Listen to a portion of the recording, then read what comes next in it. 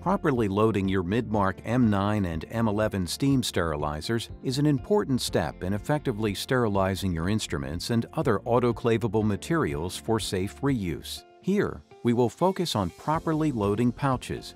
Midmark recommends using pouch racks to allow steam and heat to effectively circulate throughout the chamber. Always place pouch racks on the trays provided within your sterilizer.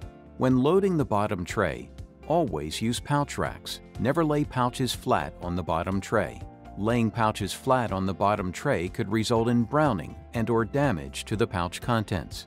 If you choose to lay pouches flat on the middle to upper trays, ensure that the pouches do not overlap for effective sterilization. By using pouch racks, you can increase the number of pouches you are able to load in a single cycle.